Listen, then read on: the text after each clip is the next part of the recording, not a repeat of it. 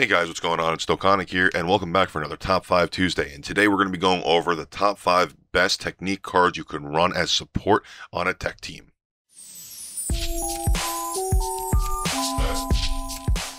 All right, so let's go ahead and start out by going over the rules. Uh, first one is going to be that this is a global only. Um, currently, it is June 18th, so I will only be going over the cards that are currently available on the global side as of June 18th, 2017. This is restricted to non-Dokkan exclusive cards, so any card that is a Dokkan Fest exclusive will not be taken into consideration. Any other technique card that is available in game will be taken into consideration. So that includes world tournaments, anything that was gifted to us by Bandai for special events, anything purchased in the Baba Shop, or anything that is summonable outside of the Dokkan exclusives. Um, only passive skills will be taken into consideration, or they will be primary, unless the cards are tied in for a specific place then link skills would be taken into consideration. After that, the amount of damage they do in terms of their damage multiplier, extreme, supreme, immense, catastrophic, etc. And the last assumption is going to be that they are always going to be on third rotational slot, that you do not have a need to keep them on a permanent rotation, and they're just going to be on the last slot, so that way they're buffing the rest of the team. So before we go ahead and start going over the cards, once again, let me just pre-state, I am not going to be going over the order of the cards in which I rank them at first. The ranking will come after me going over the card group. So, let's go ahead and start. The first card we're going to talk about is Fury Unleashed Super Saiyan 2 Gohan Youth. This is a tech card with a passive skill of Raging Fury and an Unbridled Ki plus 2 for any agility and technique types. The next one is going to be Sinister Scientist Towa. Uh, her passive skill is an Unbridled Ki plus 2 for all allies. Again, really good. I didn't realize how many good support units tech actually has. The next one is Experienced and Growth Super Saiyan Trunks from GT.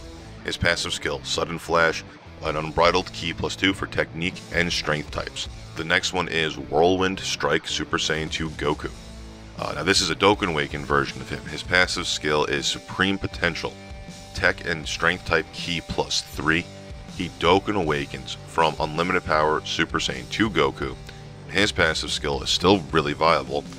His passive skill is Full Power, Tech and Strength Ki plus 2 he Dokkan Awakens with 7 medals from the Hero Extermination event, level 9, a legendary fight. And last but not least, the last one is going to be the true value of the Potara Vegeta. His passive skill is Potara of Hope, attack and defense plus 30% for all allies. He does Dokkan Awaken. He Dokkan Awakens from the Miracle of Potara Vegito. His passive skill is also pretty viable. The Ultimate Fusion attack was 25% for all allies. He Dokkan Awakens with 35 medals from the Supreme Fusion Blazing Potara, the Super Vegito event. Alright guys, let's go ahead and just go over the honorable mentions before we move on to the rankings. First one is going to be Martial Artist Pride Jackie Chun. His passive skill, Hope for the New Age, technique type attack and defense plus 25%. He Dokkan Awakens from the seasoned Sensei Jackie Chun.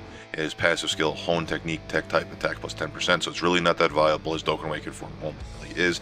He Dokkan Awakens from 7 medals from the Strike event Master of Masters, which is the Jackie Chun Tech Strike event. Um, the next one is going to be Total Might Full Power Super Saiyan Goku. His passive skill, Super Warrior's Rage, all allies attack and defense plus 25% when HP is 30% or above. He Dokkan Awakens from Deadly Awakening Super Saiyan Goku. His passive skill is Awakening of a Super Warrior. Attack plus 15% for all allies when HP is 50% or above. That is kind of utterly trash, but it is viable. He's available on the guaranteed SSR summons, but he was also a World Tournament prize in the 8th World Tournament on the global side. Um, the next one is going to be World Domination Demon King Piccolo. His passive skill, Terrifying Measures, Extreme Type Ki plus 3 and Attack plus 25%. He Dokkan Awakens from Full Power Desperation Demon King Piccolo, whose passive skill is um, full flowering power, technique, and intelligence type ki plus 2. Now let me state before I go on, World Domination Demon King Piccolo. That passive skill of extreme type ki plus 3 and attack plus 25%. If you are running an extreme team and almost all, if not all, of your cards on your tech team are extreme and you have him Dokkan Awakened, you should always have him on the field. You should always be part of your team because he would be the number one choice, in my opinion, because he gives all extreme cards a ki and attack buff. It's it's just a no-brainer there. He's actually because it's not tech specific, it's all extreme, so he also runs really well on an extreme team. But for the for the sake of a tech team, he is really really good. You want to make sure he's on your extreme teams, especially your extreme tech teams. Uh, again, because it's only extreme types, not super types, he doesn't get the uh, the uh, the top five spot, but he would if I was going over extreme tech type team. uh, but yeah, uh, by the way, before I go on, uh, really quick, the two cards, the Piccolo, the King Piccolo that I just mentioned, and the Goku, the Undoken versions of them, Deadly Awakening Super Saiyan Goku, and Full Power Desperation Demon King Piccolo, both require Master Mark medals. You attain those in the World Tournament in the local rankings in order for you to Dokkan Awaken them. You need to rank in the local rankings. You'll When you go into the World Tournament, you'll actually see it. I don't have anything to show you as of right now, um, but you can get the Master Mark medals from that. Alright guys, now as for the rankings. So, in the last place, or should I say the last place, is fourth and fifth. Now, they're kind of interchangeable depending on who you are running on your team. Um, but in terms of who I'm running, I prefer a heroes type of team, so I have more Super Saiyans. Um, so I'm going to be going with Sinister Scientist Towa as last place. Uh, she is good. She is someone who I would put above the next card who I'm going to talk about, which is Experience and Growth Super Saiyan Trunks GT. Now, both of them are essentially spitting images of each other. They both have the same leader skill, recover 500 HP per ki of characters type attained. They both have extreme damage modifiers. Towa does have the greatly lowers defense on her super attack, so but that defense, the debuff doesn't really do too much. Towa gives ki plus two for all allies, but we're talking about specific tech teams, so Trunks does the same exact thing, tech and strength type ki plus two.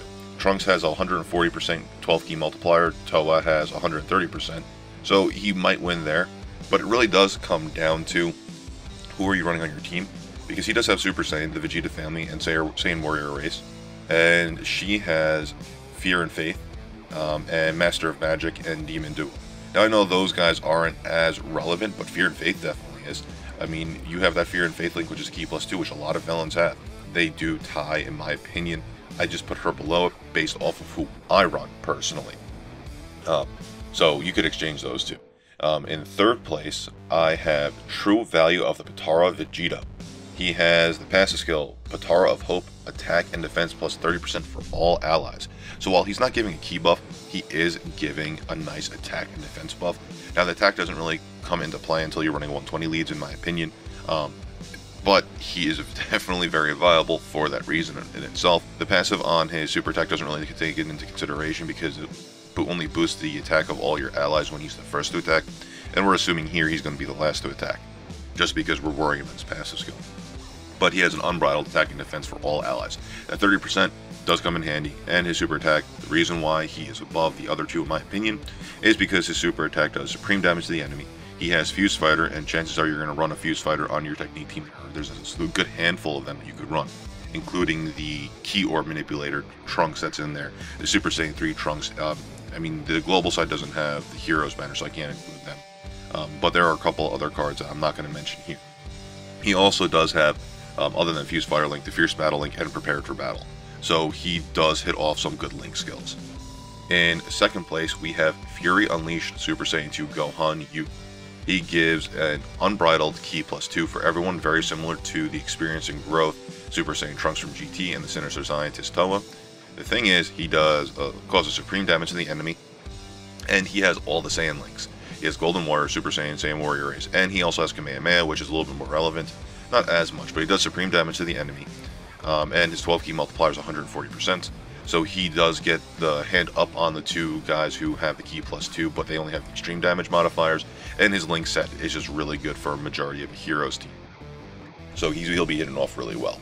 Um, last but not least, if you haven't figured it out, Whirlwind Strike Super Saiyan 2 Goku is my first place pick because his passive skill Supreme Potential, Tech and Strength type ki plus 3 he also has some amazing link skills of Golden Warrior, Saiyan Warrior Race, Super Saiyan, Kamehameha, prepared for battle.